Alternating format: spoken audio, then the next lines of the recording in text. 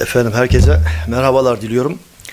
Ve Nihat'ın hakkımda sarf etmiş olduğu sözler beni e, bir açık hedef haline getirdi diye düşünüyorum açıkçası. Sağ olun.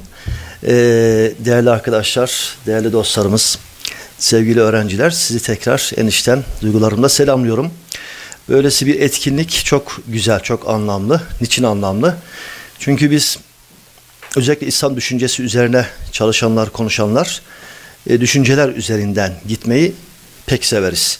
Spekülasyon yaparız, teoriler üzerine dururuz. Fakat bir düşünürü odağa alıp onun e, mücadelesi, düşünce sistemi üzerinden fikirleri ve kavramları izlemek, kavram tarihçiliği yapmak, kavramların bir dedektif gibi belki e, izini sürmek sistematik düşünme adına çok daha önemli. Şimdi benim aldığım bazı notlar var. Arkadaşlarım e, programın akışına dair dediler ki ilk önce tarihsel şahsiyetini anlatalım. Evet doğrudur. Onu vermek lazım. E, ardından yaşamış olduğu dönem ve e, daha sonra düşünce sistemi. Öncelikle şunu söyleyelim. E, bir söz ya da bir düşünce ne kadar değerli olursa olsun değerli arkadaşlar, e, moda tabiriyle ona ilişkin kamuoyunda bir farkındalık yok ise eğer, e, çölde söylenmiş bir söz gibidir. Dolayısıyla bir sözün anlamını bulabilmesi için tıpkı yağmur suyunun e, bir verime dönüşmesi için e, mümbit topraklarla buluşması gerektiği gibi çöl toprağına düşen yağmurun herhangi bir faydası olmaz. Sözlerin de alıcısıyla çok uygun ortamda, uygun koşullarda buluşması gerekiyor. Şimdi neden Ebu Hanife? Bir süredir Türkiye'de Ebu Hanife, Hanefilik ve Maturidilik üzerine e, bir e, yoğunlaşma var, bir ilgi var, bir empati var. Fakat bunun sağlam temellere oturtulması gerekiyor, bir bilgiye dönüştürülmesi gerekiyor. E, ve Ebu Hanife gibi, Ebu Hanife gibi e, yaşadığı dönemde seveni ve hasımları çok fazla olan insanları anlarken iki büyük sorunla karşı karşıyayız. Birincisi tarihten ve gelenekten kaynaklanan sorunlar. İkincisi günümüzle ilgili sorunlar. Tarihten ve gelenekten e, kaynaklanan sorunlar bir düşünür, bir alim, gelenek henüz teşekkür etmemişken bakınız, teşekkür sürecindeyken onun sevenleri, e, ben onlara iyi bir iyi niyetli araburucular diyorum. Onların vermiş olduğu, onun hayatı ve düşünceler hakkında vermiş olduğu bilgiler çoğu zaman onu tanımaktan ziyade onu e, dönüştürmektedir. Bu problemi en çok yaşamış olduğumuz isimlerin başında Ebu Hanife geliyor. Birinci e, özellik e, Ebu Hanife'nin kendisinden ziyade Hanefilerden kaynaklanan problemler. Acaba Hanefiler Ebu Hanife'nin düşünce sistemini, felsefesini ve usulünü ne derece e, içselleştirdiler? E, bunu tartışacağız. İkincisi ise daha spesifik bir problemdir. O da Ebu Hanife'nin ilim anlayışından ve yönteminden kaynaklanan bir problemdir. Hazret yazmayı çok sevmiyor. Yazmayı çok sevmiyor. Diyalog adını verdiğimiz, müzakere ve tartışma adını verdiğimiz bir yöntem üzerine e, konuşuyor ve e, hükümlerini, görüşlerini insanlarla paylaşıyor. Diğer velüt alimler dediğimiz zaman bir insanın velüt olmasını biz hemen diyoruz ki bir bakalım kitapyurdu.com'dan birkaç tane eseri var bize ne kadar kitaplar e, telifatı ulaşmış o eksene bakıyoruz. Yani bir alimin veliyut olması yazılı eser bırakmasıyla sanki e, an, e, eş anlamı e, taşıyan bir husus gibi gözüküyor. Oysa e, yazmadan da insanlar çok önemli öğrenciler e, yetişmiş olabilirler, bir ekol e, kurmuş olabilirler. Ebu Hanife böyle bir ekol kurucusu aslında. Ve ona nispet edilen ve şu anda yanıma getirdim. Benim ilk aldığım kitaplardan bir tanesidir e, İmam-ı Azam beş eseri. Burada El Alim vel Müteallim, El Fıkhul Ebsat, El Fıkhul Ekber, Risalet-i Ebu Hanife, Osman Elbetti'ye yazmış olduğu bir mektup, El Vasiye.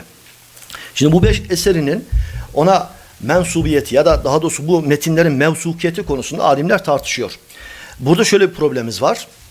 Bir alimi Ebu Hanife gibi e, yani sistematik kitap yazmış Eş'ari öyledir, Maturidi öyledir, ve ondan sonra gelen alimler gerçekten öyledir. Ortada sistematik bir e, eserleri vardır. Ne demek istediğini değil ne dediğini de görürsünüz. Fakat Ebu Hanife'ye gerek fıkıh anlamında gerekse kelam, teoloji anlamında nispet edilen çok farklı görüşler olduğunu görüyoruz. Dolayısıyla bu bizi e, yani tanınmaz hale getiriyor Ebu Hanife'yi bizim gözümüzde.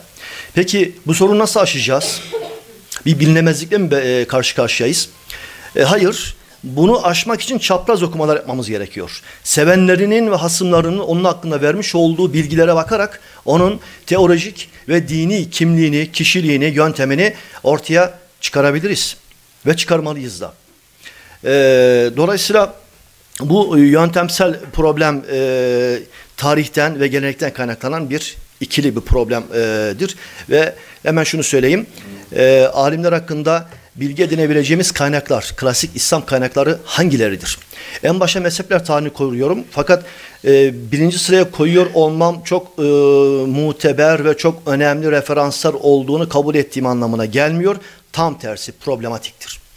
Çünkü mezhebi kaygılarla, ideolojik düşüncelerle e, kısmen e, saldırı, kısmen de apolojik duygularla yazılmış metinlerdir.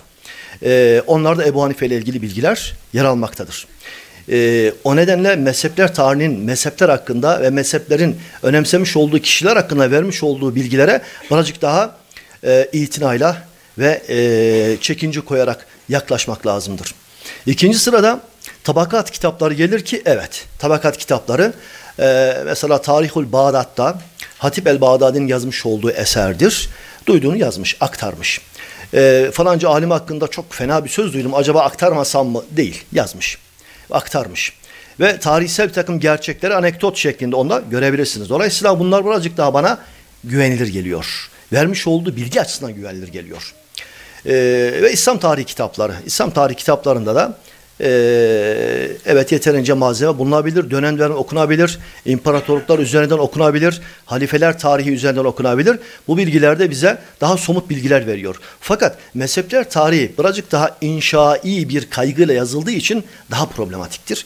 E, o problemlere dikkat çekmek lazım. E, evet, Ebu Hanife gibi önemli şahsiyetleri seveni e, ve hasmı e, bol olan e, ve insanlara güçlü duygular uyandıran bu tip düşünürler, referans kişiler e, hakkında e, anlama sorunu teşkil eden e, ikinci büyük sorun güncel durumumuzla ilgili sorunlardır. Bizi Ebu Hanife'ye iten, onu anlamaya iten şey nedir? İşte o neden güncel bir nedendir. Hemen kestirmeden bir cevap vereyim, sizinle paylaşayım. Belki bunu tartışabiliriz. Mevcut din anlayışı bize yetmemektedir arkadaşlar. Bize yeterli gelmemektedir. Bizi mutlu etmemektedir. Başka bir din anlayışı içerisine, arayışı içerisine girdiğimiz için Ebu Hanife'nin belki de çok böyle sistematik bir kitap yazmıyor oluşu, tırnak içinde biraz müphem, birazcık da belirsiz bir e, e, vizyona sahip oluyor olması bizim de e, fantazilerimizi besleyen, kışkırtan bir motivasyon oluşturuyor. Yani aslında bizi Ebu Hanife'ye iten şey Ebu Hanife'nin çekiciliğinden çok belki onu da bir kenara koyalım. Bizim ona bizi ona iten bir takım nedenlerden bahsetmemiz lazım ki bunun başında mevcut İslam dünyasındaki mevcut din anlayışlarının yeterli olmaması bizi mutlu etmiyor olmasıdır. Biz bir çıkış kapısı arıyoruz. Dolayısıyla Hanefilik ve Maturidilik üzerinden e, pek çok söylemlerle karşı karşıyasınız. O nedenle ben değerli arkadaşlarım, dostlarımı bir kez daha tebrik ediyorum. Ebu Hanife'den sonra Maturidi'nin konmuş olması hem kronolojik anlamda doğrudur hem de paradigmatik anlamda doğrudur ve isabetlidir. Çünkü Ebu Hanife'nin düşüncelerinin gelecek hafta belki paylaşma fırsatımız olacak. E, teolojik e, meyvelerinin e, Maturidi'de nasıl ortaya çıktığını, bu ortaya çıkışların onun düşünce sistemine uyup uymadığını tartışacağız. Şimdi öncelikle Ebu Hanife'nin hani tarihsel ben bu tip sunumlarda şöyle bir yöntem izliyorum. Ee, zaten hepinizin bildiği bilgileri birazcık da e, melankolik bir ses tonuyla size tekrar vermek ilim adamlığı değildir arkadaşlar. Zaten bildiğiniz şeyleri, tarihsel bilgileri size paylaşmaktansa belki bu bilgiler üzerine e, nasıl okumalar yapabiliriz? Ee, varsa eğer yanlış okumaları nasıl tasih ederiz? Bunlar üzerinde durmak çok daha bana anlamlı gelir. O nedenle bu ilk kısmı birazcık daha hızlı geçeceğim fakat şöyle de bir bilgi vereyim size ben. Öncelikle Ebu Hanife. Bu isim nereden gelmiş? Ee, ben özellikle öğrenci arkadaşlarıma soruyorum. Halk arasında da aslında Ebu Hanife yönelik bir e, sevgi e, yönelimi vardır.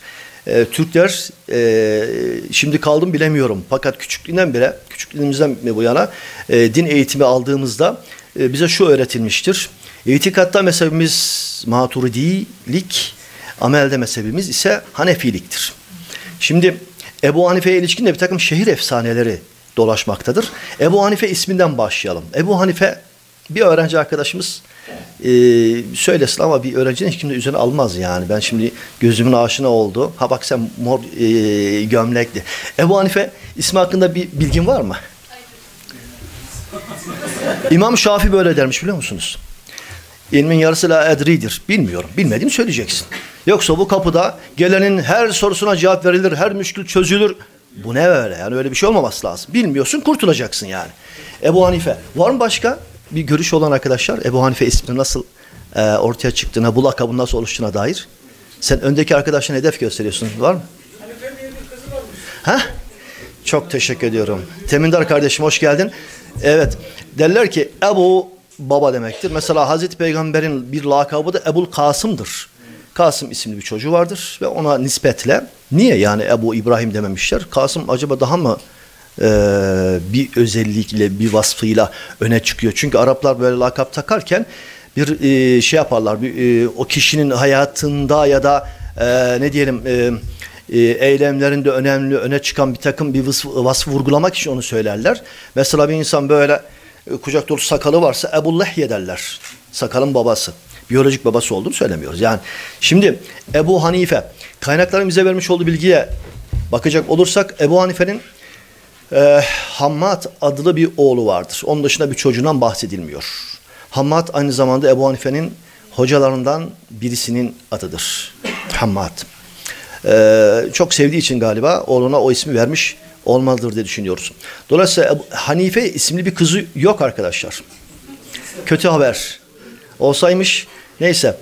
Ee, peki Ebu Hanife burada arkadaşlar Hanif, Kur'an-ı Kerim'de geçen o Hanif isminden hareketle bunu düşünmemiz gerekiyor. Ebu Hanife. Sondaki ta'ut te'nis hemen aklınıza geliyor değil mi ilaç arkadaşlar? Nereden geliyor? Bu e, mürci'e, mu'tezile, maturidiye'deki o ta, e, ta var ya o ta'ut te'nis değildir yani. O o ta'dır yani. Dolayısıyla Ebu Hanife e, Haniflerin önderi. Doğru yolda sımsıkı sarılanların lideri anlamına geliyor. Bu bir sıfattır. Güzel bir sıfattır ve yakışıyor hakikaten. Diğer ismi ise El İmamun Azam. E, en büyük imamdır. Evet yani e, böyle bir e, lakaplandırma konusunda bu e, şehir efsanesinde yıktık, yıktık mı ne yaptık taslim ettik öyle bir şey oldu. Şimdi Ebu Hanife ile ilgili olarak arkadaşlar doğum tarihi. Kufe'de doğar, Bağdat'ta vefat eder. E, 699'a 767. Ben bazen böyle yuvarlarım 699 kim aklına tutacak? Bu mağazalardaki e, şeyler gibi yani böyle 499 500 değilmiş 499 psikolojik şey. 7 Ocak şey diyelim e, Ramazan'a bu 609 700 diyelim 700 767 yıllık bir ömrü vardır. Ee, hicrete hicret takvimine bakacak olursak Hicri 80'de dünyaya gelmiş 150 yılında vefat etmiştir. Evet hicretten oradan bir 10 yıl daha düşün. Hazreti Peygamber'den 70 yıl sonra dünyaya gelmiş bir alimden bahsediyoruz. Kendisi tabiindendir. İslam'ın kurucu olan nesli yani sahabe Hazreti Peygamber'e Müslüman kimliğiyle görmüş, sohbet etmiş. Onunla teşriki mesaide bulunmuş nesilden sonra gelmektedir. Hazreti Peygamber görenleri görmüştür ve tabi'in neslindendir. Ve e, kendisi mevalidendir. Ya yani onun e, bir defa Arap olmadığı kesin. E, onun gerçek ismi Nu'man bin Sabit Ez-Zuta ya da bazıları hataen Zavta diye okurlar. Zuta e, Kabil'den gelmiş ailesi köle olarak gelmiş dedeleri fakat e, babasının özgür bir Müslüman olduğuna dair ittifak var. Mevaliden olduğu kesin. İranlı değil bu bilgilere göre. Türk hiç olmuyor galiba. Hiç önemli değil zaten. Hemen şunu söylüyorum arkadaşlar. Bir düşünürü, bir alemi, bir filozofu, bir coğrafya ya da bir etnisiteyi indirgeyerek okumak ona yapılacak en büyük haksızlıktır. Aslında bunu yapanlar ona haksızlık yapmıyor. İşin gerçeği kendilerine zarar veriyorlar. Çünkü o alimin, o düşüncenin e, düşüncesinden içkin olan hikmetten kendilerini mahrum kılıyorlar. İşte Hanefilik, maturidilik tartışmaları ilişkin benim birinci notum budur arkadaşlar. Yani ideolojik ya da asabiyete dönük bir e, Ebu Hanife okuması Ebu Hanife'yi tüketmektedir ve bu çok zararlıdır. Dolayısıyla Ebu Hanife'yi tanırken e, bu hususlara dikkat etmek gerekiyor. Şimdi e, Ebu Hanife ömrünün 52 yılını Emeviler döneminde geçiriyor arkadaşlar. 18 yılın Abbasiler döneminde geçiyor. Her iki döneme şahit. Yani yalnızca Emevilerin Emevilerin e, dönemine ilişkin iyilikleri, kötülükleri, sorunları görmekte kalmamış. Aynı zamanda Abbasiler yeni kurulan bir ihtilal sonucu ortaya çıkan ve büyük beklentiler, Müslüman toplumun büyük beklentisiyle kurulan bu devletin de üretmiş olduğu kötülükleri, sorunları ve varsa iyilikleri görmüş, müşahede etmiş bir insandır. Tam bir kırılma dönemini e, alimidir diyebiliriz. Dolayısıyla fikirlerinin yoğunluğunda e, ve fikirlerinin bu kadar hikmetli oluşunda bu yaşanmışlığın da büyük bir etkisi olduğunu söyleyebiliriz. Emevi halefelerinden mesela Abdülmelik bin Mervan, son halife 2. Mervan zamanına kadar e, yaşamış ve bütün bu dönemde olan isyan hareketlerine, olaylarına tabii ki şahittir. Diğer taraftan e, hilafet daha doğrusu hilafet değil yani hilafet kalmıyor artık ortalıkta. Saltanat e, Emevilerden Abbasilere geçince Abbasiler e, saltanatı ele alınca e, Ebu Abbas Es-Seffah çok kan döktüğü için bu sıfat kendisine verilmiş. E, ve Ebu Cafer el-Mansur dönemlerinde görmüştür. Bu dönemlerde gerçekleşen hadiselere şahit olmuştur. Vefatı nasıl olmuştur? Kendisi yani bizimkiler söylemiyor tarih kaynağı ama şehit edilmiştir. Şehit edilmiştir, öldürülmüştür. Niye dilleri varmıyor? İşte burada bile iyi niyetli arabulucular adını vermiş olduğum sonraki sonraki okuyucuların, yorumcuların e, tarih kitaplarına hani dilleri varıp da söyleyemediği ifadelerdir. Evet Ebu, e, Ebu Hanife e, zalim bir iktidar tarafından şehit edilmiştir. Hiçbir isyana doğrudan teşebbüsü olmadığı halde e, şehit edilmeyi ya da e, katli gerektirecek herhangi bir eylemi olmadığı halde şehit edilmiştir. Neden? Nedeni şu arkadaşlar. E, kendisi e, ticaretle meşgul olduğu için e, her, e, yani iktidara e, yanaşmaya, iktidarın verdiklerine ihtiyaç duymayacak bir konumda ve pozisyonda. Kendisini ilme vermiştir. İlmi şahsiyetini e, tartışacağız, onu açıklayacağız. Ve burada etmiş ol, e, elde etmiş olduğu bir karizması var. Burada e, elde etmiş olduğu bir e, nasıl bir sevgi, bir e, referans e, özelliği var. E, dönemin öne çıkan alimlerden bir tanesi. E, ve bu tip alimlerin tabii ki iktidarlar bu tip alimlerin e, desteğini yanlarına görmek isterler. Mansur bir, birkaç defa mektup yolluyor, birkaç defa sarayına çağırıyor ve kendisine kadırlık teklif ediyor. Kabul edenler olmuş. Daha sonra e, e, ikinci kez Ebu Hanife'ye kadırlık teklif ettiği zaman e, Ebu Hanife yine kabul etmiyor. Bunun üzerine e, hapse attırıyor kendisini ve her gün 10 kırbaç e, teedip, teediben 10 kırbaç e, vurularak e, cezalandırılmasını istiyor. Daha sonra e, bu sürüyor e, ardından e, bırakılıyor. Fakat bir rivayete göre kendisine zehir içilerek bırakıldığı söyleniyor. Hapiste öldüğü söyleniyor vesaire falan. Fakat zehirlendiğine dair de güçlü e, malumatlar var. Dolayısıyla kendisinden bir şehit olarak bahsetmek mümkündür. Şimdi bir bilgi vermek bakımından şöyle bir şey söyleyeyim. Ee, kendi döneminde yaşayan, e, kendi döneminin e, bir ilmi manzarasını ortaya koyacağız. Fakat e, iki tane ehl hadisten, iki tane de kelamcıya e, vurgu yaparak onun e, e, hayat e, hikayesine dair bir not düşelim. O da şu arkadaşlar, meşhur Müslim, Buhari ikisinde sahihi vardır. E, hadis koleksiyonları vardır. İkisinden neredeyse e, 100 ya da 90 yıl önce yaşamıştır. E, Müslim ve Buhari'den. Eş'ari ve Maturidi'den de aynı şekilde 130 yıl önce falan yaşadı e, ortaya çıkıyor. Bir tarihlendirme e, yapacak olursak yani bu bahsetmiş olduğumuz bu e, Müslüm'ün ortaya çıkması, Buhari'nin kitabını yazması, Eş'ari Maturidi artık düşünce yavaş yavaş tanımlanıyor. Sistematik hale geliyor. Demek ki bundan birazcık daha önce yani 100 yıl kadar önceki bir dönemde yaşamıştır. Peki Ebu Hanife dediği zaman aklımıza ne geliyor? Onun teolojik ve ilmi kimliğini, kişiliğini ortaya koymak adına bir kavramdan biz bahsederiz. İslam tarihinde, daha doğrusu İslam düşünce geleneğindeki bu gerilimleri ifade etmek adına ehli rey ve ehli hadis. Ehli hadis ve ehli rey. Bu kavramın nasıl ortaya çıktığını, ehli hadisin daha sonra nasıl olup da mesela kendisi ehli sünnet olarak ifade ettiğine dair e, görüşler var. Fakat burada e, Ebu Hanife e, ehli rey akımının öncüsü Kufe'de. Ehli rey akımının öncüsü olarak biliniyor. E, şimdi girişte bir e, not düşmüştüm. O da şu. Ebu Hanife e, iyi niyetli dostlarından e, dinlediğimiz kadar aynı zamanda e, onun amansız rakiplerinin vermiş olduğu bilgilerden de e, dinleyerek anlamaya çalışmak lazım. Öncelikle e, Ebu Hanife'nin e, ehl taraftarlarınca hiç sevilmediğine dair çok net kaynaklarda ifadeler var. Ben aslında hani e, derler ki alimlerin birbiri hakkındaki e, görüşleri nakletmek e, yani insanlarla halkla paylaşmak çok uygun bir yöntem değildir. Fakat kitaplara girmiş.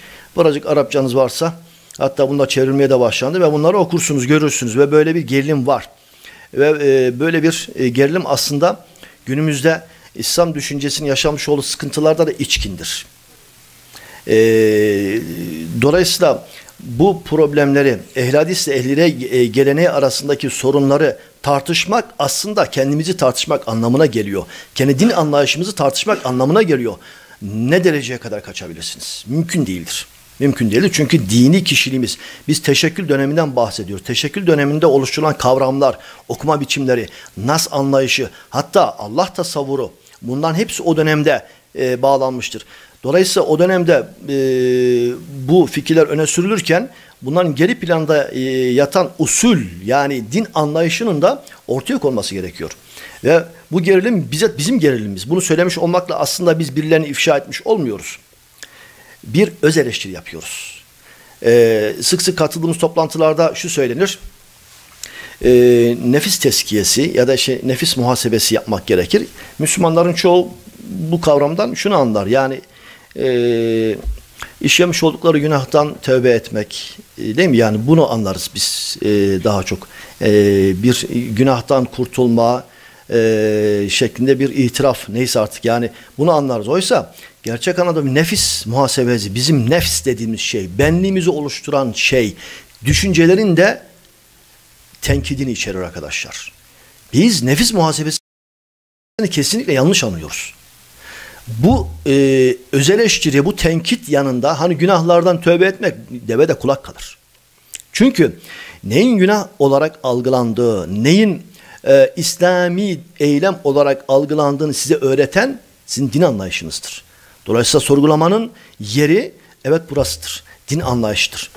E, dolayısıyla bu ehl Ebu Hanife hakkında e, kitaplarımıza geçmiş olan e, ifadeler var. Onlardan birkaç tane örnek vermek istiyorum. Ee, Ebu Şeyh'in tabakatında geçiyor.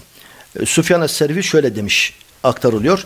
Ebu Hanife hem sapık hem de saptırıcıydı. Hem kendisi yoldan çıkmış hem de insanlar yoldan çıkartıyor.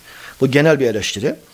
Ee, hatta Ahmet İbni Hanbel'in Kitab-ı İlel adlı kitabında e, Ebu Hanife'nin iki kez tövbeye davet edildiği e, aktarılıyor. İki kez tövbeye davet edilmiş. E, orada hatta neden biz e, Ebu Hanife'yi e, şeye tövbeye davet edeceğiz diye soranlara küfür demiş. Küfürden şeye tövbeye davet edilmesi e, gerektiğine dair bir not var. E, Kadı Şerik bin Abdullah e, Kufe'nin ona, ait bir e, ifade Kufe'nin her köşesinin merkeple affedersiniz dolmasının orada Ebu Hanife'nin görüşünde birisinin bulunmasından daha hayırlı olacağını söyler. Böyle abartılar zaten şeydir yani bu yani e, İslami edebiyatta çok yaygındır. E, yani bir mezhep kurucusudur Malik bin Enes. Ona da e, yine Ahmet bin Hanbel'in kitabı İler kitabında bir ifade var. E, burada e, geçtiği için paylaşayım. Ebu Hanife az kalsın dini yıkacaktı şeklinde bir ifadesi var. E, pek çok ifade var arkadaşlar. Yani e, elinizin altında Google varsa Ebu Hanife'ye yönelik suçlamalar diye bir girin. Karşınıza bir sürü bilgi çıkacaktır. Peki neden? Neden şu arkadaşlar? E, Kufe'de Kufe'nin e, yani bu ehli hadisin ehli reye olan bakışını anlamak için Kufe'nin aynı zamanda siyasi ve e, toplumsal kuruluşunu göz önünde bulundurmamız gerekiyor. Kufe e, Hazreti Ömer zamanında oluşturuluyor. Hatta şöyle bir anekdot anlatılır. E, derler ki e, biz nereye e, yani Irak fethedilmiş fakat şehirler kurulacaktır. E, Hazreti Ömer bir şehir kurulmasını emreder. Nereye kuracağız diye kendilerine soru sorarlar. E, Arabistan'a giden develer alın ve bırakın. Develer nerede yaşıyorlarsa oraya şehri kurun. Çünkü devenin yaşadığı yerde Arap da yaşar. Şeklinde bir cevap vermiş. Evet, Kufe'nin bu şekilde kullandığı söylem. Fakat Kufe'nin ikinci bir ismi de arkadaşlar Mürciavattır. İşte asıl Ebu Hanife'nin suçlandığı noktalardan bir tanesine geldik. Önemli bir noktadır. Mürciavat. İslam tarihinde e, adını bir şehre veren yegane e, ekoldür. Mürciavat. Mürciye'nin kalesi anlamına geliyor. Bu mürcilik nereden geliyor? Onu da e, anlatacağız. E, burada e, Kufe Hazreti Ali'nin baş kent olarak seçtiği şeylerden bir tanesidir. E, Muaviye saltanatı elde geçirdikten sonra e, İslam e, yani saltanatın baş şehrini Şam'a taşmıştır. Kufe ise arkadaşlar her zaman için bir e, zanlı, bir sanık olarak görülmektedir. Çünkü çok isyan hareketleri, özellikle Emevilere karşı isyan hareketlerinin örgütlendiği yerdir. Haddi zatında aslında Kufe Ehl-i Beyt'e de yer olmamıştır ki.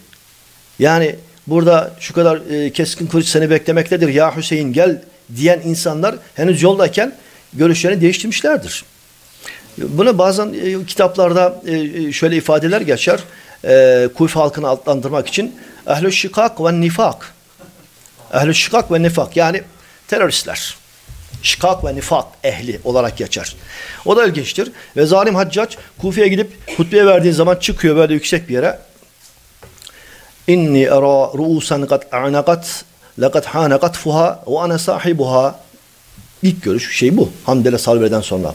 Olgunlaşmış kelleler görüyorum. Onların kopartılmasının vakti geldi ve onları arayacak olan da benim. Yani gözdağı verilerek sindirilmeye çalışan bir şeyden bahsediyoruz. Tabi siyasi kargaşa içerisinde e, kimliğini oluşturmuş bir şehir. Dolayısıyla haricilik, murciye, e, mutezile gibi akımdan özellikle ehli rey üzerinden e, gelişen akımların Kufe'de merkezden uzak bir yer olması hasebiyle de burada kendisine bir yaşam alanı bulduğunu söyleyebiliriz. Dolayısıyla Hazreti Ömer'e ilişkin bir anekdot daha var. E, sahabenin önde gelenlerinden ilmiyle öne çıkan e, isimlerden bir tanesi Abdullah İbni Mesud'dur. Genelde Hazreti Ömer e, A takımı adını verdiğimiz çok önemli karizmatik sahabenin kendi etrafından dağılmasını istemiyor. Çünkü gittik yerlerde de yalnızca dini değil aynı zamanda başka oluşumlar, sosyal oluşumlar da oluşturabilecektir. Ya da istişare maksadıyla kendi yanında tutuyor. Fakat ihtiyaca binaen, isteğe binaen e, Abdullah bin Mesud'u Kufe'ye gönderir. Ve e, Kufe halkına da şunu söyler. Der ki Abdullah İbni Mesud'u size göndermiş olmakla sizi kendime tercih ediyorum. Dolayısıyla oradaki reyciliğin, rey okulunun gelişmesinde Hazreti Ali'nin, Hazreti e, Abdullah İbni Mesud'un e, bu önemli sahabelerinde etkisi olduğunu söylemek mümkündür. Bunu e, şurada göreceğiz. Ebu Hanife'nin e, dayanmış olduğu gelenek nereden gelmektedir diye bir silsile e, çizildiğinde Hazreti Ali'ye ve oradan Hazreti Peygamber'e kadar giden bir çizgiyle karşı karşıya kalıyoruz. Reycilik aslında evet buradan geliyor bir anlamda. Şimdi e, Kufe'de doğdu. Bağdat'ta şehit edildi Ebu Hanife. Şimdi e, Ebu Hanife'nin Ebu Hanife yönelik iki e, önemli suçlama var arkadaşlar. Bunları bunu biraz tartışalım. Bunun üzerine duralım. Birincisi onun mürci'i olması. Ee, çok ilginçtir.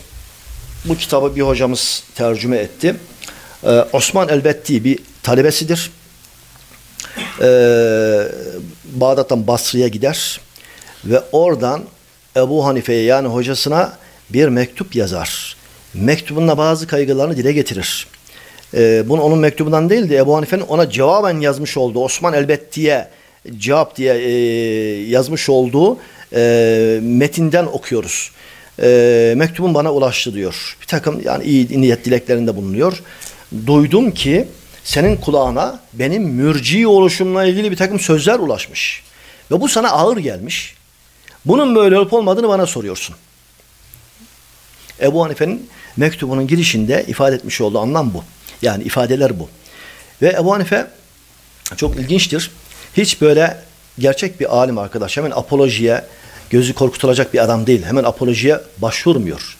Bil ki diyor e, adalet, tevhid ve hak üzere olanlar başkaları tarafından yanlış bir takım sıfatlarla nitelendiler diye onların yolu hak olmaktan çıkmaz. Ben mürci değilim demiyor. Çünkü arkadaşlar e, konuşmamın girişinde İslam geleneği hakkında ve İslam alimler hakkında bilgilerimizi nereden alacağız diye bir soru ortaya atmıştım. Bunlar içerisinde en problemli, en sorunlu kaynağın mezhepler tarihi, milal ve nihal kitapları olduğunu söylemiştim. Evet bunlardan bir tanesi e, Eş'ari'nin Makalatül İslamiyin ya da e, El Milal ve Nihal adlı kitabında mezhepler sayılır. Sayılırken mürciyeye de değinilir. Mürciyenin bir tabakası, altıncı tabakası galiba. E, şöyle bir kavram kullanır. Tatimmetur ricalil mürciye. Yani mürciyeden sayılan bir kavram kullanır. Rical, mürciye e, olarak adlandırılmayı hak eden insanlar. Ebu Hanife ve ashabı diyor. Ebu Hanife ve taraftarlarını mürciye olarak niteliyor. İbn-i Teymiye'nin kitabında da mürciye suçlaması vardır. Daha doğrusu nitelemesi vardır Ebu Hanife hakkında. Onun mürci olduğuna dair. İlk önce yani e, İlahiyat Fakültesi arkadaşlarımız, öğrencilerimiz burada.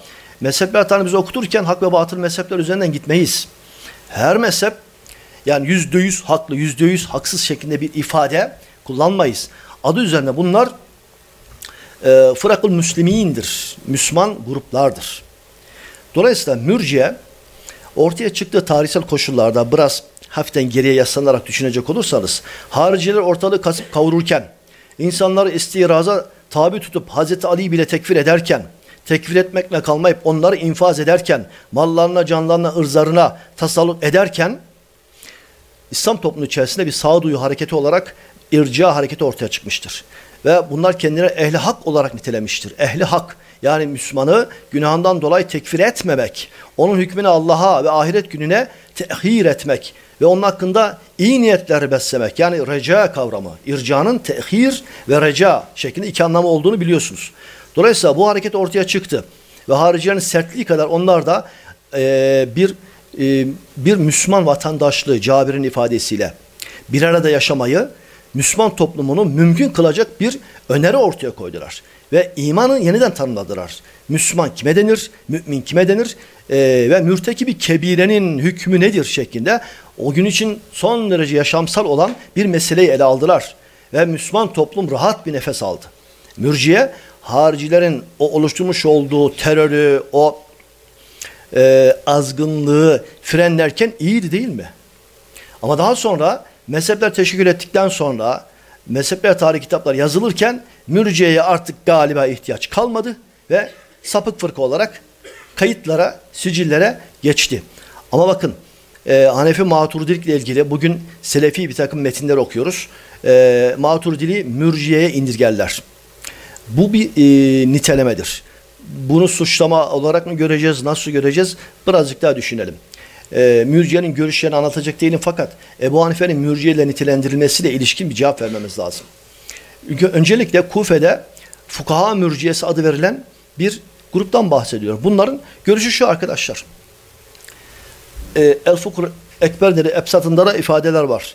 İman tanımından kaynaklanıyor. Bütün gürültü, patırtı, bütün tartışma imanın tanımından, imanın amelle olan ilişkisinden kaynaklanmaktadır. Ebu Hanife'nin dediği şey şu. Amel imandan bir cüz değildir. Bunu e, Alül Kari şerhinde de görürsünüz. Açıklıyor. İman neredir diye bir, soru, bir soru soracak olsak. Bir insan organlarıyla ilgili mesela. Parmağında mı, gözünde mi, kulağında mı, saçında mı ne oluyor? Peki parmağında dedin. Parmağını kestik. imanı gitti mi? O zaman geri çekilir. İmanın yeri kalptir. Kalptir. Tasdiktir iman. Amel ise başka bir şey. Çok teknik bir ayrım yapıyor. Yani e, iman kalbin fiilidir ve bunu kimse bilemez Allah'tan başka. O nedenle bunun hükmünü gelin akıllılık yapalım, Allah'a bırakalım. Amelinden dolayı bir insanı tekfir etmeyelim. E, ama küfür anlamına gelen bir takım ameller vardır, sözler vardır. E bunları da kişi irtikab edince sen işte Müslüman kalmaya devam et diye zorlamayız. Yani bu kadar da large değildir Ebu Hanife'nin görüşü ve mezhebi. Dolayısıyla e, Ebu Hanife'nin iman tanımı amel imandan bir cüz değildir. Birinci, e, keşke slayt olsa gösterdik. Birinci e, maddesi odur. İkincisi, e, günahından dolayı bir, bir, bir mümini tekfir etmeyiz. Üçüncüsü geliyor. Bununla birlikte günahından dolayı bir mümin zarar görmez de demeyiz. Bu arkadaşlar kelam ve akaid nameleri, e, akaid metinlerini, itikat namelerini dikkatli ve titiz okumak lazım. Her bir kavram, bırakın cümleyi, her bir kavram özenle seçilmiştir ve yürütülmekte olan bir tartışmaya cevaptır ve bir konum belirlemedir. Ebu Hanife birincisiyle haricilere karşı olduğunu açıkça beyan ediyor. Amel imandan bir cüz değildir. Ve bunun doğal sonucu olan, teolojik ve hukuksal sonucu olan e, cümleyi bizimle paylaşıyor. Günahından dolayı bir mümini tekfir etmeyiz. Yani hala mümin sıfatını taşıyan bir insanı günahından dolayı tekfir etmeyiz. Üçüncüsü, üçüncüsü daha önemli. Onun teolojik kimliğini anlamamız bakımından. Bununla birlikte biz bir müminin günahından dolayı zarar görmeyeceğini iddia etmeyiz. Buradaki ifade şu arkadaşlar.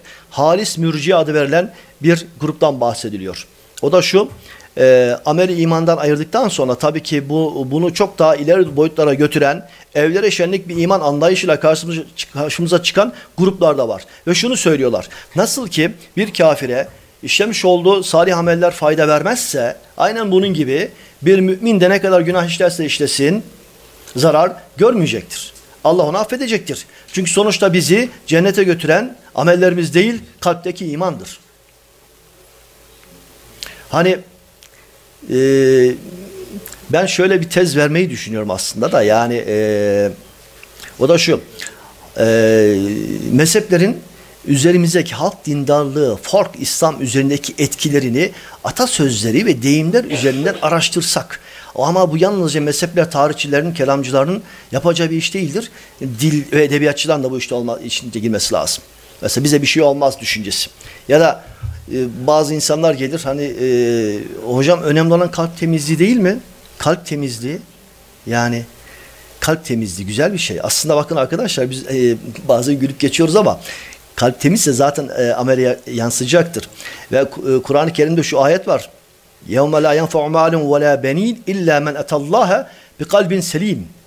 O gün ne mal ne de oğullar insana fayda vermez. İlla men etallaha bi kalbin selim. Ancak selim bir kalple gelenler kazanacaklardır. Selim kalp, temiz kalp. E, Kur'an'dan çıkıyor bu aslında. Yani temiz kalp. Doğrudur. Biz buna karşı çıkamayız. Ee, eğer zaten ideal bir olması gereken e, olgun bir iman kendi eylemini, kendi yaşam tarzını üretecektir arkadaşlar. Burada Ebu Hanife'nin bu e, mürciyenin e, kabul edilemez iman anlayışına bir set çektiğini görüyoruz. Dolayısıyla Ebu Hanife'nin mürci olarak nitelenmesi eğer yalnızca iman tanımındaysa e, onların nitelemeleriyle e, İmam-ı Azam'ın değerinden bir şey kaybetmez. E, bunu özellikle altını çizmemiz lazım arkadaşlar. Bunu gelecek hafta söyleyeceğim fakat bir Hanefi maturidilik paradigmasına atıfta bulunmak adına hemen not edeyim. Ee, İmam Maturidi pek çok mezhepten söz eder. Onun sistematik kelam kitabı vardır. Hangisi de arkadaşlar? İlahiyat Fakültesi öğrenciler özellikle. Kitab-ı Tevhid. Çok sistematiktir. Tevhilatta e, tefsirci kişiliği ortaya çıkıyor fakat asıl görüşlerini siz orada görürsünüz. Orada tüm reyciliğini, kelamcılığını çok profesyonelce ortaya koyar İmam Maturidi. Tüm İslam mezheplerini sayar, Şia'ya, Mutezile'ye, diğer gruplara, İslam dışı fırkalara, Senevilere, Maniheistlere, Berahimeye çok ciddi saldırılar, daha doğrusu onlarla ciddi münakaşalar içerisine girer. Kitabının bir bölümünde mürciye söz gelir. Mürciyeden bahsederken imamın ses tonu değişir. Ses tonu değişir. Daha böyle kucaklayıcı, daha bir anlamaya çalışan bir yaklaşım içerisine girer. Ebu Hanife'ye de bir söz atfeder. İmamımız demiştir ki der, e, el-irca e, mezhebul melaik. Meleklerin mezhebidir. Meleklerin mezhebidir. Ne demek meleklerin mezhebi arkadaşlar? Meleklerin mezhebi olur mu? Meleklerin gittiği yol. Arkadaşlar Cenab-ı Hak Hazreti Adem'e isimleri öğretti. Meleklere de dedi ki hadi söylemek bunların adını. Onların verdiği bir cevap var. Subhaneke la ilme lena illa ma allamtena inneke entel alimul hakim. Dediler ki sen ancak yani biz ancak senin bana bize e, bize öğrettiğini kadarını biliriz. Yani bilmediklerini itiraf ettiler. Hükmü Allah'a bıraktılar. Buradan hareketle aslında mesele biliyorsunuz mürtekibi kebire, suç işleyen yani evet suç işleyen Müslümanın hala Müslümanlara kalıp kalmayacağına ilişkin bir tartışmadır oradaki mesele. Bunun üzerine aslında e, el ircanın e, tehir anlamına vurgu yaparak İmam Maturidi mürceyi orada savunur arkadaşlar. E, ve orada aslında e, onunla ilgili bütün ifadeler ehli hak olarak geçer. Hak ehlinin yolu olarak anlatılır. E, dolayısıyla başta yani mutezile, mürciye, şia vesaire falan bunlar İslam bu, e, geleneğinin bir parçasıdır arkadaşlar. E, bunları bizim anlamaya çalışmamız lazım. Bizim kimliğimiz tamam Hanefi, Maturide, Sünni olan öyleyiz. Onu kabul ediyoruz. Fakat bunun dışında İslam e, tarihi boyunca siyasi ve toplumsal nedenlerle ortaya çıkan bu ekollerin ekoller anlamamız lazım. Tekfirci bir zihniyetle gidemeyiz. Gitmemeliyiz. Mürciyenin e, yani Ebu Hanife gibi bir adamı da ikna etmişse daha gerisini siz düşünün. Diğer mezheplere kadar doğrudan hücum eden bir imam yani şey diyor irca ile ilgili vermiş olduğu görüş e, ya da e, bir takım değerlendirmeler e, günümüzde mürciyeyi sapık fırka olarak e, gören insanlarınki gibi değil. Kendi dönemlerinde mezheplerinde görmüş olduğu toplumsal işlevler vardır. Bir yalnızca teolojik görüşlerini okuyoruz. Dolayısıyla bu konuda birazcık daha esnek davranmak lazım. E, zaten burada mütekip kebire konusunda arkadaşlar şunu da söyleyeyim. Haricilerin düşüncesi üzerine sürekli yanlış fikirleri e, amele indirgeyip onu da tekfirin konusu yapan insanların düşünce yapısıyla bir e, toplumsal düzen kurmak mümkün değildir. Mümkün değil yani. Nasıl? O insanlar hem iktidara karşı savaşıyorlar, ayrıldılar gittiler 100-150 bin kişi Nehravan'a çekildiler. Hazreti Ali ölünceye kadar onlarla savaştı. Hem iktidara karşı savaşıyorlar hem de kendileri gibi düşünmeyen topluma karşı savaşıyorlar. Yani gün, e, günümüz siyasi ifadesiyle hem devletle mücadele ediyor hem de sivil toplumla mücadele ediyorlar. Böyle bir hareketin yaşama şansı sosyolojik olarak mümkün değildir. Hariciler hakkında uydurulmuş hadisler var. Ayrı bir konu. Ümmetin bu hadisleri biz şöyle bakıyoruz. Ümmetin onlara karşı duymuş olduğu öfke ve nefretin rivayete dönüşmüş halidir o aslında. El havaricu kilabun nar. Yani hariciler cehennem ehlinin kelpleridir şeklinde ifadeler de var. Yani buna benzer pek çok ifade var ki bu ümmetin onlara karşı duymuş olduğu e, nefretin bir sonucu. Şimdi Evet. Şimdi gerçi şey var Faruk hocam. Derler ki niye uydurmuyor biliyor musunuz? Çünkü e, onlara göre amel imandan bir cüzdür. Uyduramaz çünkü peygamber yalan söylemek küfürdür. Dindar adamlar. Çok dindar adamlar. Hariciler nereden tanırsınız diye İslam tarih kitaplarında bazı anekdotlar var. Derler ki onları çok aşırı namaz kılmaktan, oruç tutmaktan bitkin bir hale düşmüş şekilde görürsünüz. Hatta bir alim var, onun ismini unuttum, o anekdotu anlatayım size. Ee, yakalanıyor. Haccaç döneminde hariciler, kadınlı erkekli, güneşin altında neredeyse çıldıracaklar. Külle yapılmış ekmek yediriyorlar e, o insanlara, bukalara vurulmuş zincir içerisinde. E, yanlışlıkla birisi de düşmüş. Yanlışlıkla. E, haber gönderiyor. Ben o zamana kadar oruçta tutardım. Namazda fazla kılardım. Bıraktım diyor. Yani yalnızca farzları kılmaya devam ettim. Orucu da fazla e, tutmamaya başladım. Çünkü beni harici zannedeceklerdi. Yani bir anlamda takiye yapmış diyelim mi? Şimdi e, onlar aleyhine ya da diğer mezhepler aleyhine uydurmuş sözler var. Ebu Hanife'yi tanımaya devam edelim arkadaşlar. Şimdi bir manzara çizmek adına Ebu Hanife'nin mürcilikle suçlanmasına dair o itham Hanefileri de bir psikolojik baskı altına sokmuştur. Maturidiler de bir psikolojik baskı altına sokmuştur arkadaşlar. Bu e, özellikle e, yani eşarilerin eleştirilerini e, bir kenara e, çünkü daha sonra sünni blok oluşunca ehli sünnet ve cemaat sünni paradigma oluşunca eşariler Maturidiler, Hanefiler, Şafiler, Malikiler daha sonra e, bu imamları koruyucu ve kollayıcı bir dilin de üretildiğini görüyoruz. Dilin de üretildiğini görüyoruz. Bazı muakkar dönem e, ehl hadis önderlerin Ebu Hanife hakkında son derece övücü e, ifadeler kullandıklarını görüyoruz. Hatta şu söylemi az önce paylaşmıştım. İmamların birbirleri hakkındaki sözlerini biz burada paylaşmayalım. Yani o orada kalsın. Neden? Çünkü sonradan bir ittifak arayışı var, bir sentez, bir, e, bir birlikte yaşama e, arayışı var. Onun e, ilim dünyasına yansıması olarak bunu görebiliriz. İkinci suçlama. Geldik Ebu Hanife'nin e, hadis anlayışı arkadaşlar. Şimdi Ebu Hanife e, reyci olduğu için e, ilk önce arkadaşlar El Fukul Ekber adlı bir kitap yazıyor. Ve kelam e, alanında araştırmalarına başlıyor. Fakat bir gün çarşıda, pazarda yaşlıca bir e, teyzemiz diyelim kendisine bir soru soruyor. Fıkıhla ilgili bir soru soruyor. Ebu Hanife o an için dümeni fıkha kırmaya karar veriyor. Çünkü kelam tartışmaların herhalde bir sonu yok. Fakat yaşayan Müslümanların ticareti var. Yaşayan Müslümanın alışverişi var.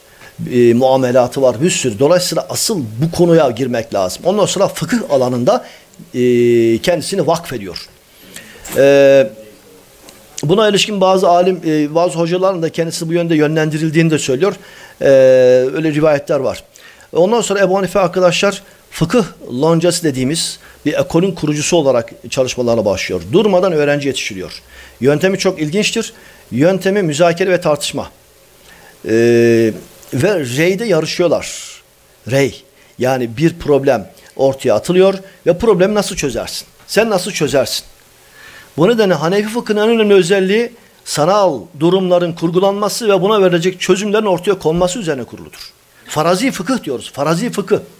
Bununla ilgili kaynaklarda şöyle bir örnek verilir. Katade ehl hadisten tabii ki Ebu Hanife'nin boyun ölçüsünü almak için Kufe'ye gidiyor.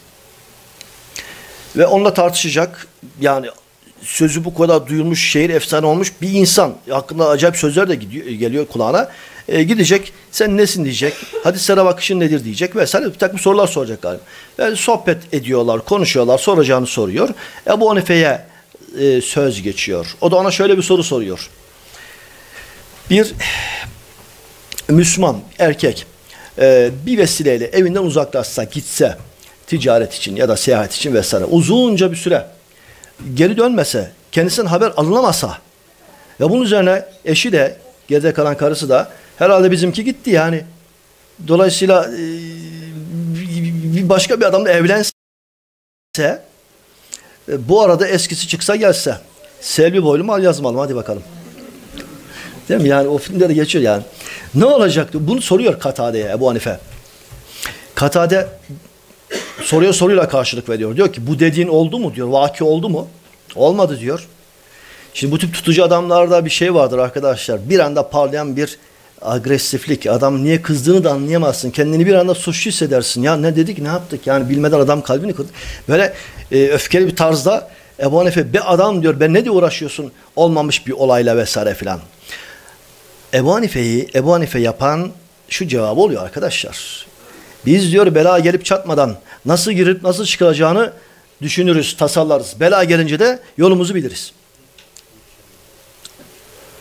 Sanal fıkıh.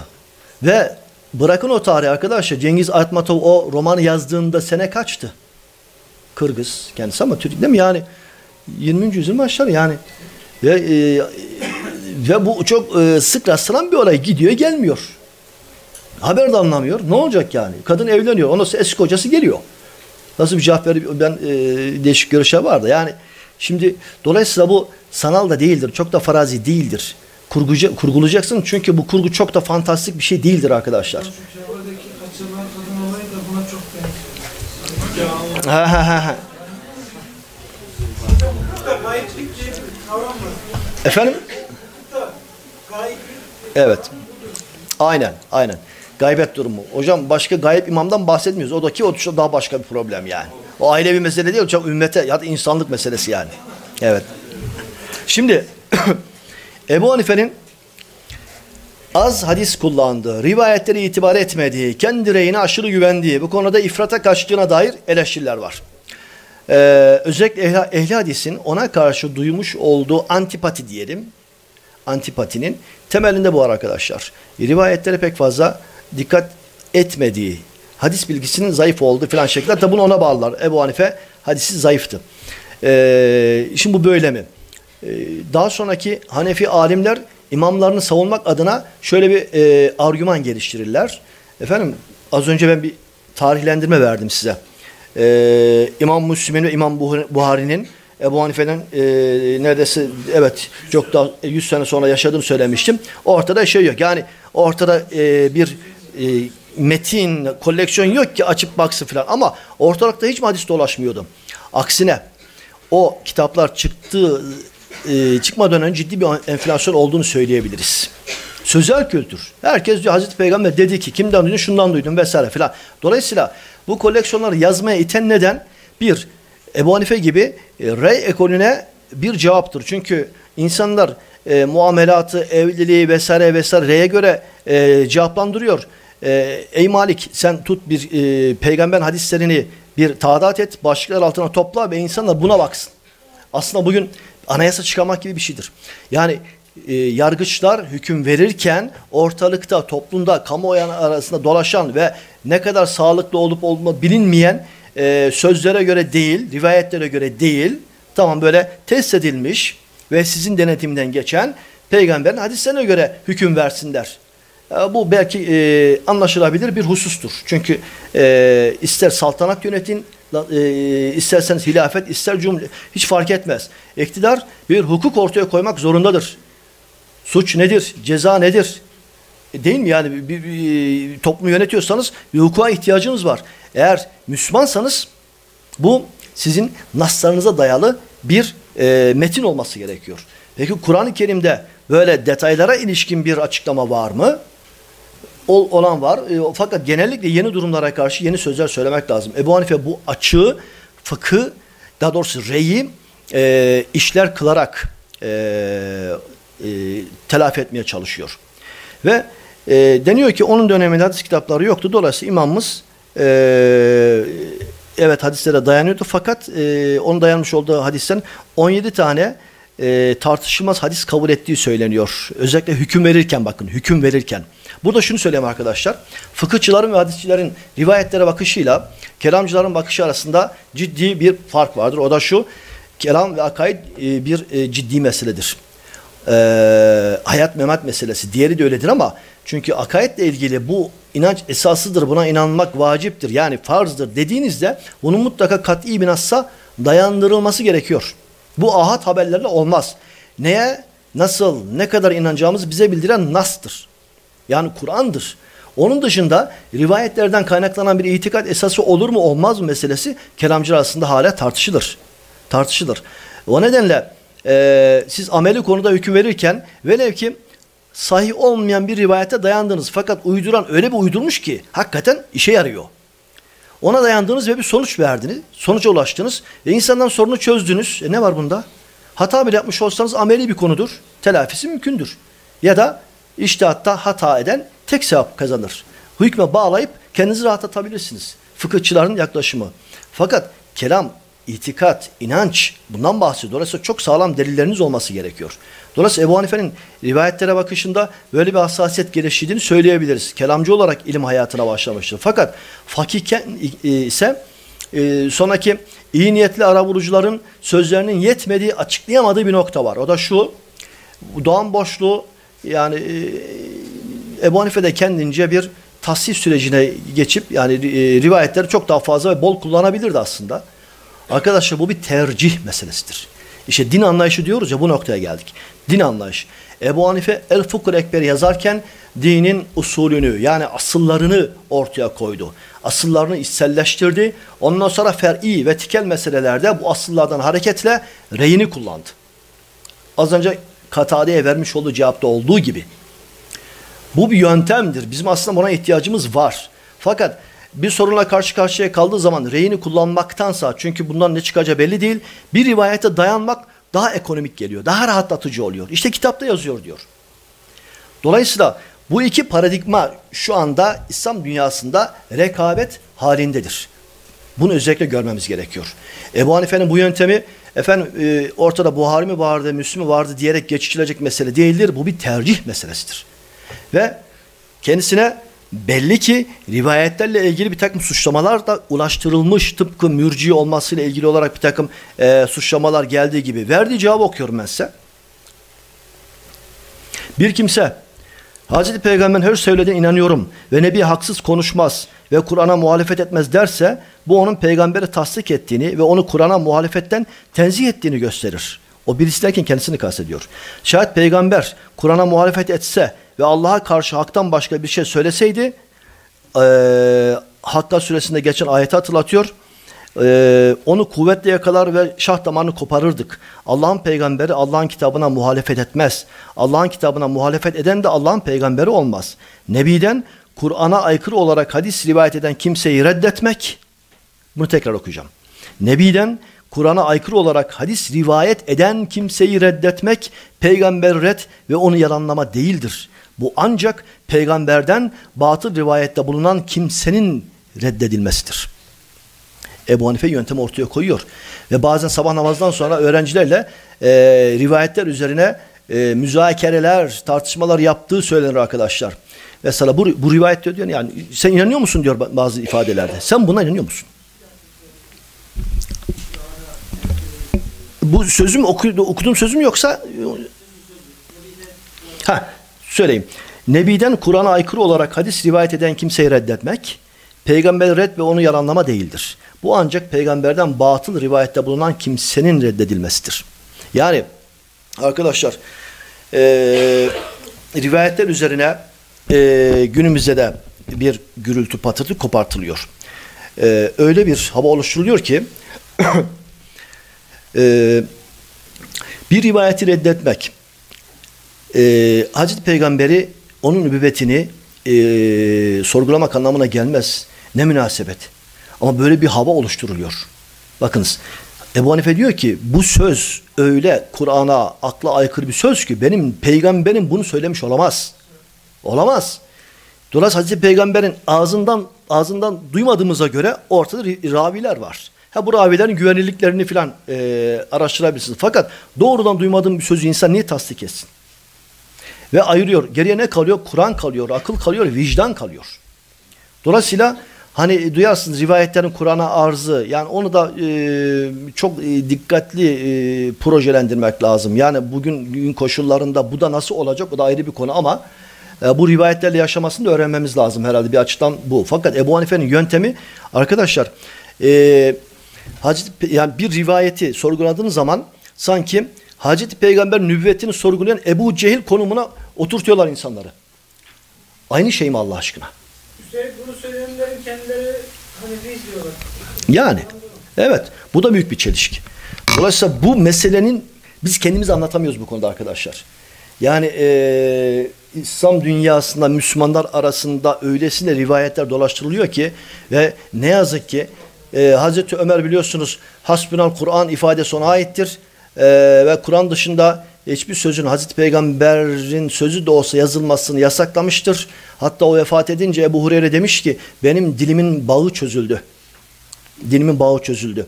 Ee, ve ondan sonra ciddi anlamda hadis ya, hadis demiyorum çünkü hadisten doğrudan peygamber aklımıza geliyor. Ben rahatsız oluyorum. Rivayet diyelim buna. Rivayet diyelim. Yani rivayet anlamında Şia'nın bir üretimi var. Onun dışında e, diğer mezheplerin üretimi var. Mezhepler arası kavgalarda bunların ciddi anlamda kullanılması süreci var. Hazreti Ömer döneminde eğer o e, hadisler diyeceğim bu sefer toplanmış olsaydı elimizde çok daha kuvvetli hadis e, koleksiyonlar olurdu. Keşke yapsaydı. Çünkü bu işi birisi yapacaktı. Ve İslam'ın en kaotik döneminde rivayetler toplandı. Emeviler döneminde, Abbasiler döneminde en kaotik dönemde toplandı. Derler ya atı alan Üsküdar'ı geçmiş o dönemde topluyorsunuz. Keşke daha erken toplanmış olsaydı diye bir düşüncem var ama bu bir imkan yani onu sorgulamasına fazla girmemek lazım. Şimdi Ebu Hanife'nin e, rivayetlere bakış açısında arkadaşlar bu kadar bir özgüven e, göze çarpıyor. Bu özgüven e, El Fıkhul Ekber diyor. El Fıkhul Ekber. Bugün kullanımızda İslami terminolojide fıkıh İslam hukuku anlamında kullanılıyor. Bir kavramın önüne arkasına İslam kelimesi geldiği zaman hemen ruhanileşiyor kafamızda. Öyle değil. Fıkıh. Bunu kullanmak lazım. Fıkıh hukuk demektir. Ve e, el fıkhul ekber en, en, en büyük anlayış, en büyük ilim anlamına geliyor. Fıkh etmek ve Kur'an'ı bir kavramdır fıkıh. Peki fıkhın görevi nedir? Nas'ı anlamaya çalışmak. Fakat Nas bizi hayata, tecrübeye, tarihe gönderiyor. Dolayısıyla Nas'ı anlamak demek aynı zamanda hayatı anlamak anlamına geliyor. Fıkıh Ekber'de temel Allah'ın varlığı, birliği ve nübüvvet olmak üzere Ebu Hanife meseleler ortaya koyar. Temel tartışılan konuları ortaya koyar. Bunun adına da fıkıh ekber der. Yani kelamı tarif ederek en önemli usul bu meseledir. Ve usulden, usul dediğimizde e, hem kelamcılar hem de e, fıkıhçıların bir ortak çalışma alanından bahsediyoruz. Kelamcı e, metne bakar, naslardan anlam üretir. Yanlış anlam e, teşhis eder.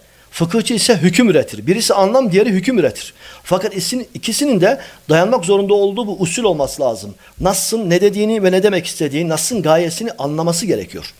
Dolayısıyla usul e, geleneği İslam düşünce geleneğinde çok güçlü bir gelenektir arkadaşlar. Bugün hermeneutik adını verdiğiniz o çalışmaların e, adı konmamış da olsa çok net bir şekilde yapıldığını görüyoruz. Bazı usul kitapları fukaha yöntemiyle yazılmıştır. Çünkü asıl olan doğru hükme ulaşmaktır. Bazı usul kitapları ise mütekellimun yöntemine göre e, yazılmıştır. Onlarda işte kelami meseleler e, daha e, doğru temellendirmek adına e, bu kitapların telif edildiğini söyleyebiliriz. Şimdi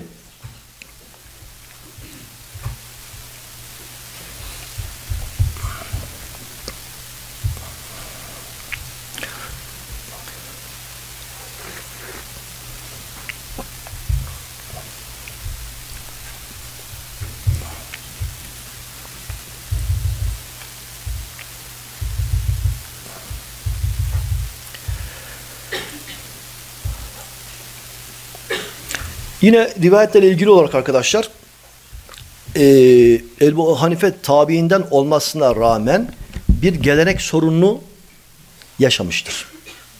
Geleneğin nasıl okunması gerektiğini e, bir problem olarak hissetmiştir. Gelenek sorunu yaşayan yalnızca siz ya da biz değiliz. Geleneği nasıl anlayacağız sorun yalnızca bizim sorunumuz değildir. Ebu Hanife'nin de ciddi anlamda tabiinden olmasına rağmen yani İslam kurucu kuşağından sonra gelen ikinci kuşak e, içerisinde olmasına rağmen bu geleneğin nasıl okunması gerektiğine dair o krizi, o problemi yaşadığını görüyoruz. Gelenek sorunu. Şimdi şöyle bir söz vardır, çok meşhurdur Ebu Hanife'nin e, kitaplarda geçer. Hazreti Peygamber'den bir söz gelmişse güvenilir bir kaynaktan baş üstüne. Sahabeden gelenler ise seçeriz, birini tercih ederiz. Fakat toptan terk etmeyiz. Bunlardan başkalarına ait olan hüküm ve iştihatlara gelince biz de onlar gibi adamız. Hüm rical, nahru rical. Ee, buna benzer bir e, başka bir versiyonda geçiyor. Buna benzer bir ifade. O da şu. Allah'ın kitabı e, ya bir meseleyle karşı karşıya kaldığında nasıl davranırsın sorusuna herhalde cevaben bunu söylüyor. Allah'ın kitabındakini alır, kabul ederim. Onu da bulamazsam peygamberin güvenilir alimlerce malum ve meşhur sünnetiyle amel ederim. Onda da bulamazsam ashabından dilediğim kimsenin reyini alırım. Yani tercihte bulunurum. Fakat iş İbrahim, Şabi, El Hasan, El Ata gibi zevata gelince hum rical. Ben de onlar gibi iştahat ederim. Şimdi burada tabii onun vizyoner oluşu, e, reyi e, üst düzeyde kullanması e, özelliğiyle e, karşı karşıyayız. Buraya ilgili olarak arkadaşlar hemen şunu söylememiz lazım. Ebu Hanife'nin reyciliği e, Nas'tan kaynaklanan bir reycilik. Nas'a rağmen bir reycilik değildir. Ehl hadisin bizi e, yani e, ne diyelim ona biz algı operasyona tabi tutarak bizi yanılttığı nokta bu. E, bazıları da yanlış anlıyor. Yani keyfine göre bir hayat yaşıyor fakat hani Müslüman kimliği de taşımak e, istiyor. E, reyciliği bunun için kullanıyor. Buna izin vermez Ebu Hanife'nin okuma biçimi. Fakat ehl söylediği gibi de değildir. Ebu Hanife'nin yöntemi şu.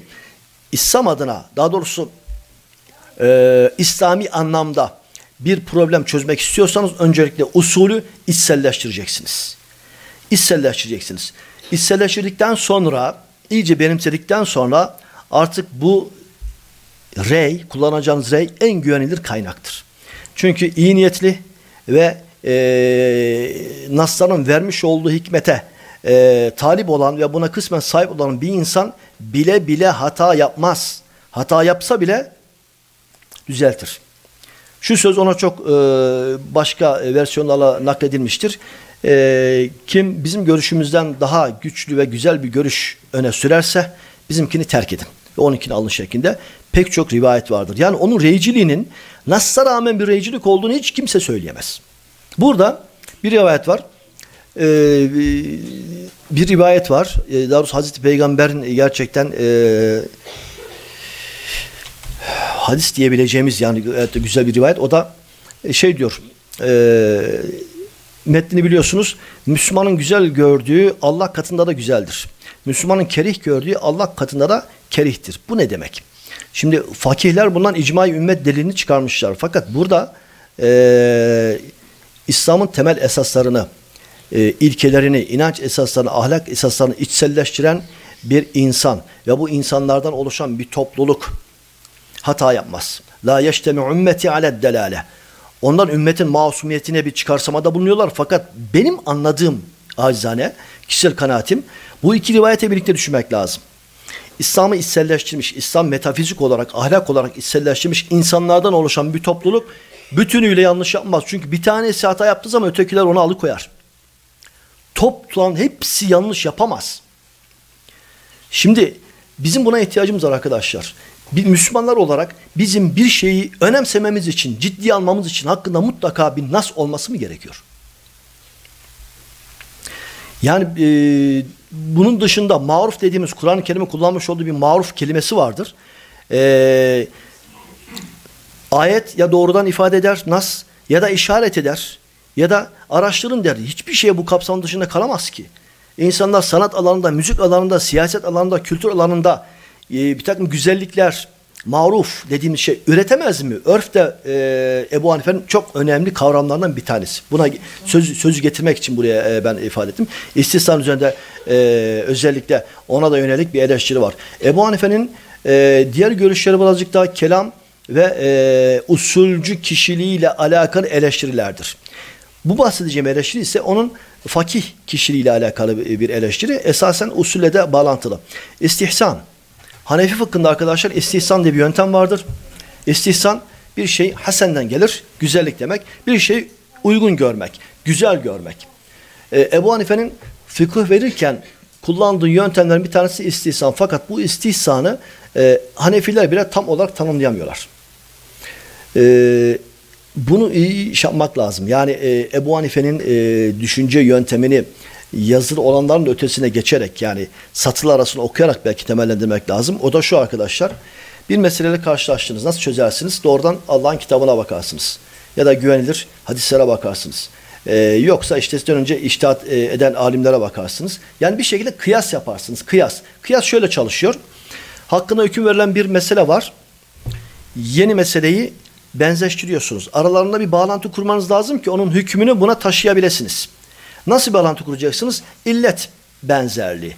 Bu hüküm yani bu meselede şöyle bir illet vardır. Daha önce hakkında hüküm vermiş böyle bir mesele vardı. Onun da illeti buydu. Bu illeti buna taşıyarak aynı zamanda illet benzerliğini göstererek o hükmü yeni hükme taşıyorsunuz. E, fakat arkadaşlar e, kıyasın sonuç vermediği hatta e, toplumun önünü tıkadığı pek çok e, olayla karşılaşılmıştır. Bunun üzerine kıyasın e, yetmediği yerlerde başka bir çözüm bulmak lazım. İstihsan yöntemi zannediyorum Ebu Hanife'nin din anlayışının ve hayat anlayışının bir sonucu olarak ortaya çıkmıştır. Her şey kıyasla çözülemiyor. Burada felsefe okuyan, ilahiyat okuyan arkadaşlar var. Aristo e, mantığına yönelik, o çift değerli mantığa yönelik en ciddi eleştiri kıyas üzerindendir. Kıyas bizi arkadaşlar zaten kıyasta varmış olduğun sonucu biliyorsun. Baştan biliyorsun. Bütün insanlar ölümlüdür. Ali de insandır. E tabii ki Ali de ölümlüdür. Bu yeni bir şey vermiyor. Bütün mesele ne biliyor musunuz? Ali'nin insan olduğunu kanıtlamak. Ali insan zaten ölümlüdür. Yeni bir bilgi vermiyor. Bu nedenle Batı Bacon'la birlikte çift değerli mantığı geçti. Çok değerli mantığa e, ulaştı. Hakkını yemeyelim. E, İbn-i Teymiye'nin de nakzul mantık e, adında e, şey vardır arkadaşlar. Aristo mantığına dönük ciddi çok felsefi e, derinliği olan bir e, eleştiri e, içeren bir metni de vardır. Burada istihsan İmam Şafii'nin e, ciddi tenkit ettiği bir yöntemdir. Hatta istihsana e, başvuranları Allah'ın ve Resul'ün vermiş olduğu hükme razı olmayıp da heva ve heveslerine tabi olanların yöntemi olarak anlatıyor. Ciddi bir eleştiri aslında. E, fakat o da e, yani Şafi fıkhında da kıyas adı altında istihsana benzer bir takım e, yöntemler izlendiğini biz biliyoruz. Şimdi arkadaşlar Ebu Hanife'nin bir de siyasi yönü var. Ebu Hanife iktidara iktidara gelen tekliflere asla e, olumlu bakmadı, sıcak bakmadı. E, bundan benim çıkardığım sonuç şu, e, sivil duruşunu her zaman için korudu. Bugün hala Ebu Hanife'den bahsediyorsak, saray ulemasından değil, ondan bahsediyorsak, bu özgünlüğünü ve özgürlüğünü koruyabilmiş olmasındandır. Öyle ki Ebu Hanife paylaşılamayan bir değerdir arkadaşlar. Mutezile tabakat kitaplarında Ebu Hanife e, sahiplenilir. Mesela e, İmam Zeyd ayaklanmasını desteklediği söyleniyor. Yani görüş ve para olarak. Ve e, onların gönlünde Ebu Hanife'nin ayrı bir yeri vardır. Ayrı bir yeri vardır. Hatta İmam Cafer, Caferilik mezhebinde kurucusu olarak geçer. Cafer Sad'ın e, bir şey olmuştur. Hoca talebe ilişkisi. Yani Ebu Hanife ondan bir ders almıştır. E, rivayetlerde eleştiriliyor ama şöyle bir söz var. Levle seneten leheleken Numan. Eğer o iki yıl olmasaydı Numan yani kendisini kastediyor. Numan helak olmuştu. Yani İmam Cafer'den almış olduğu bilginin ne kadar kıymetli olduğunu vurguluyor. Arkadaşlar e, mezhepleri mezhepler arasındaki o e, taassuba takılmadan mezhep imamlarının o büyük önderlerin aralarındaki ilişkileri ayrıca tez konusu olarak tartışmak lazım, çalışmak lazım. Bugün birbirini kesen ya da işte dini hassasiyetle birbirini tekfir eden insanlar gibi değildi. Yani İmam Cafer ile Ebu Hanife arasındaki arkadaşlığı görüyorsunuz. Birbirine saygı görüyorsunuz. Hatta Muhyiddin İbni Arabi'nin Fahrettin Razi yazmış olduğu o mektubu da okuyun. İslam alimler arasında olması gereken ilişkinin nasıl düzeyli? Evet öyle düşünebilirsiniz. Ebadet vücuda inan. inansın tamam yani o da öyle bakıyor. Şimdi bu tarzdır arkadaşlar, bu yorumdur vesaire filan. Ya bir kabul edilemez yönler de biz buluyoruz ama e, aralarındaki ilişkiler böyleydi. Çünkü düşünen insan düşüncenin, düşüncenin ne kadar zahmetli bir iş olduğunu bilir. Düşüncenin ne kadar kestirilemez sonuçlara insana ulaştırdığını bilir ve düşünen insana da saygı duyar. Bugün Türkiye'de ve İslam dünyasında ilme ve alime düşmanlık var arkadaşlar. İçler acısı gerçekten yani. İlme ve alime açık bir düşmanlık var. Bunu da özellikle kendisini onu da söyleyeyim. Kendisini milliyetçi muhafazakar olarak addeden insanlardan e, böyle aşağılayıcı ifadeler duymak çok daha şey acı verici.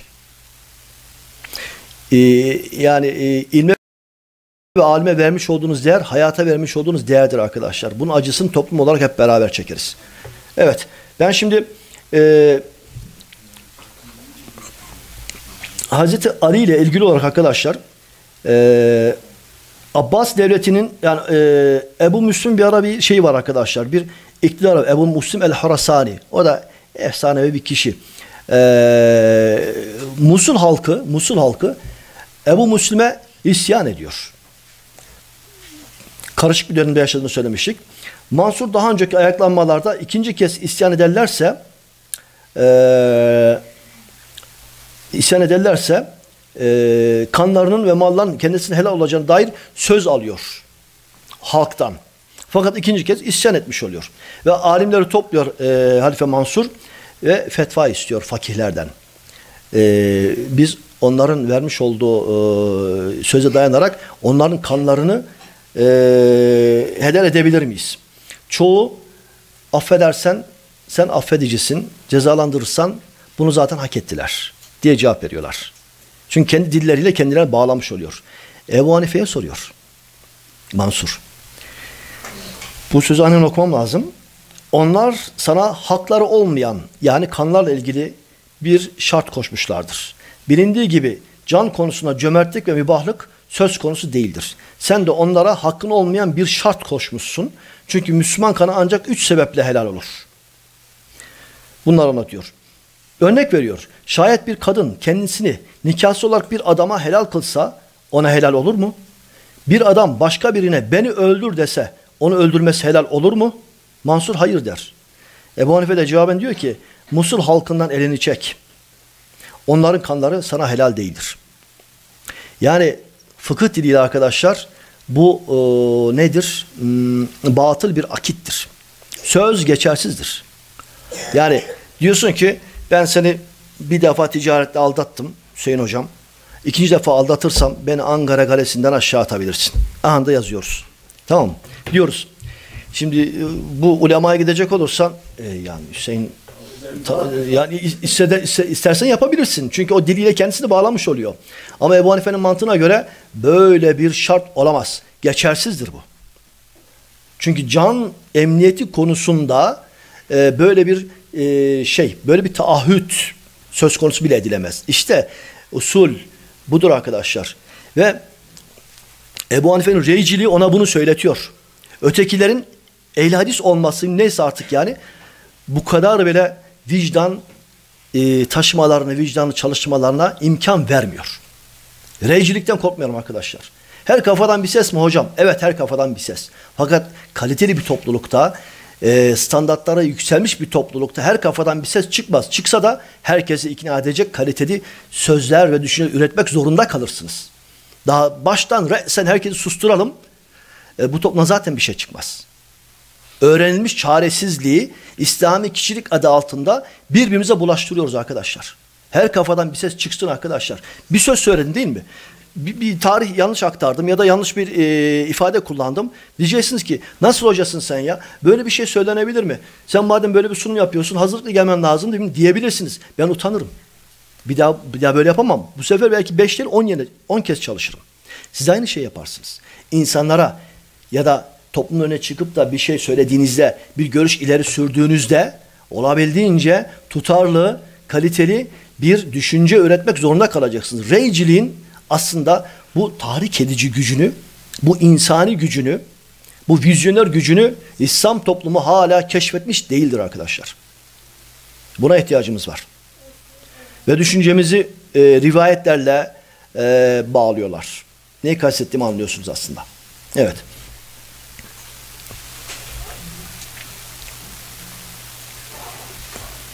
Rüyalarına da Doğru öyle rüyalar var ki rivayetler hocam onun yanında çok daha şey ehven. Ee, Ebu Hanife'nin arkadaşlar e, doğrudan e, yani sivil itaatsizlik dediğimiz bir hocamız bu kavramı kullanmıştı. Sivil itaatsizlik şeklinde duruşunu, tutumunu koruyan, asla zalimlerin beğeneceği sözleri onlara söylemeyen, e, fetva verirken, söz söylerken, e, konuşurken yalnızca ve yalnızca kendi vicdanını, aklını ve e, hakkın hatırını gözeten bir insan tipiyle karşı karşıyayız.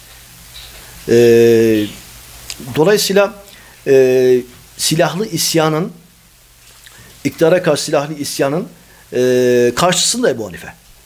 Bu Hanefile, Hanefi kültürüne yansımış durumda.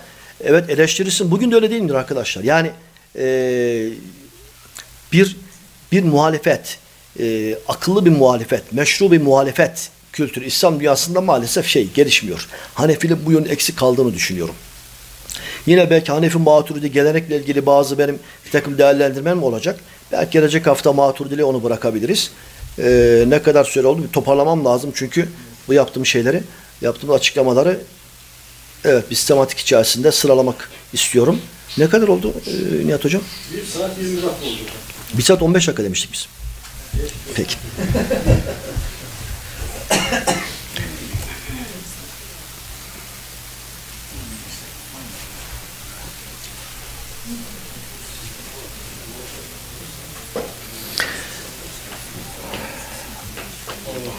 Ebu Hanife'den benim çıkardığım sonuçlar arkadaşlar. Bir, usullere tekrar dönelim. Usul. Ee, dinin gönderiliş amacı üzerine yeniden düşünelim. Din niçin var? Mevcut din anlayışları eğer bizi memnun etmiyorsa, işimizi çözmüyorsa usule tekrar geri döneceğiz. İşte Ebu Hanife'yi bu kadar cazip kılan şey onun usulcü ve kelamcı kişiliğidir arkadaşlar. Ama şunu da kabul etmek lazım ki e, Hanefilik maturidik deniyor. Şu anki İslam dünyasının önemli bir kısmında ki mevcut fıkıh Hanefi fıkıdır. Yani e, bunun da kısmen e, sorun çözmediğini de söyleyebiliriz. Demek ki yetmiyor.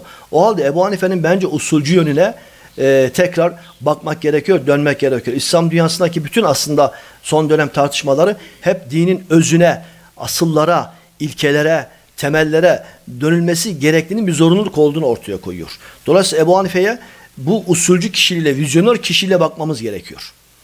Bu buluşmadan hayır çıkar arkadaşlar. Ancak bu buluşmadan hayır çıkar. Diğer taraftan dinin din, dini düşüncenin sivilleşmesi. Din gerçek gücünü arkadaşlar toplumda sade insanların vicdanında kendisini gösterir. Bu nedenle bizim eğitime gerçekten önem vermemiz lazım. Eğitime büyük önem, eğitime yatırım yapmamız lazım. Hala kültür ve sanat, edebiyat alanında yokuz arkadaşlar. Güçlü insanlar yetiştiremiyoruz. Ee, bu neden e, hep kendimizi galiba biraz melankoli yapıyoruz. E, mazoşistçe kendimizi eleştiriyoruz. Arkadaşlar adı konulmamış ya daha doğrusu özgürlüğün olduğu yerde düşünce yeşerir. Özgürlük. Şimdi belli bir dönem Türkiye'de seküler e, devlet anlayışının e, Müslümanlar üzerinde bir et, baskısı var değil mi? Onu, onu açtık diyelim. Tamam. Şimdi ise başka bir şey var. Başka bir problemle karşı karşıyayız. Yani sivil dini grupların e, doğrudan ya da iktidar üzerinden gelen baskısı. Bunu, bunu nasıl çözeceğiz? Bu ancak fikir üreterek. Yani sonuçta biz Müslüman toplumda yaşıyoruz. Eleştirdiğimiz insanlar da Müslümandır. Onlar iyi niyetli olduğunu kabul ediyoruz. Ebu Hanife'nin yöntemi aslında budur. İyi niyetli olduğunu kabul ediyoruz. Vicdanların hala sönmediğini kabul ediyoruz. Dolayısıyla ortaya kabul edilebilir, sürdürülebilir bir çözüm koyduğunuzda insanların uzun süre buna direnemeyeceklerini söylemek istiyorum.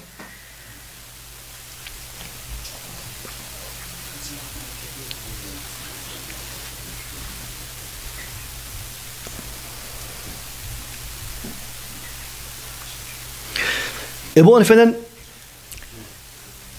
çıkarmış olduğum e, diğer bir sonuç şu arkadaşlar. İlkeleri e, yani dini ilke e, ve hassasiyet üzerinde e, anlamamız, anlatmamız gerekiyor. İlke ve hassasiyet. Dinin e, kurallar elbette ki vardır. İbadet esası tabii ki vardır. Fakat bunlara hayatiyet veren şey onların e, altında yatan usul ve esaslardır. Bunları tekrar birbirimize hatırlatmamız lazım. E, lafızları dogmatikleştirmek, e, rivayetleri zorlayarak hayata uygulamaya çalışmak Müslümanlık olarak algılanıyor belli gruplar tarafından. Bu İslam adına cinayettir. Bu vicdansızlıktır. E, bunun özellikle e, altında lazım. Hocam tamam bitiriyorum. Yani mesaj alınmıştır. Diğer taraftan arkadaşlar örf meselesi ki bunu ayrıca oturma konuşmak lazım.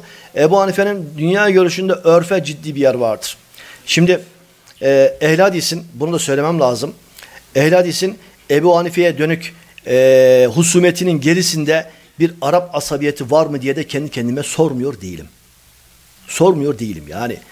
E, çünkü bir tür e, peygamber Arap, Kur'an Arapça indi. Sahabe tamam. Dolayısıyla Ebu Hanife'nin mevaliden olması ve bu kadar din adına konuşuyor olması ha ne oluyor? Yani burada ulema dururken sana gibi şeklinde bir tepki de oluşmuş olabilir diye düşünüyorum.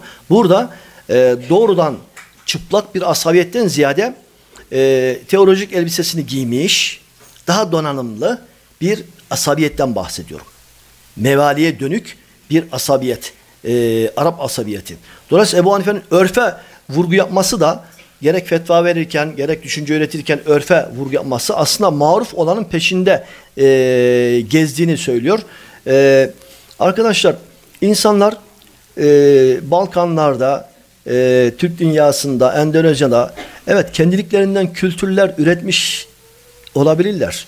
Ve bunlar çok güzel şeyler olabilir. Bunlar tekfir etmeye ne gerek var? Sanat adına, müzik adına dünyayı daha yaşanır kılmak için daha insani değerler vurgulamak için insanlar bir şey üretmiş olabilir. Bir kelamcı olarak biz buna şey deriz. Fıtrat delili deriz. Fıtrat. İnsanın sağduyusu, basireti. Az önce onu demiştim. Hakkında nasıl olması gerekiyor onu ciddi almamız için? Hayır.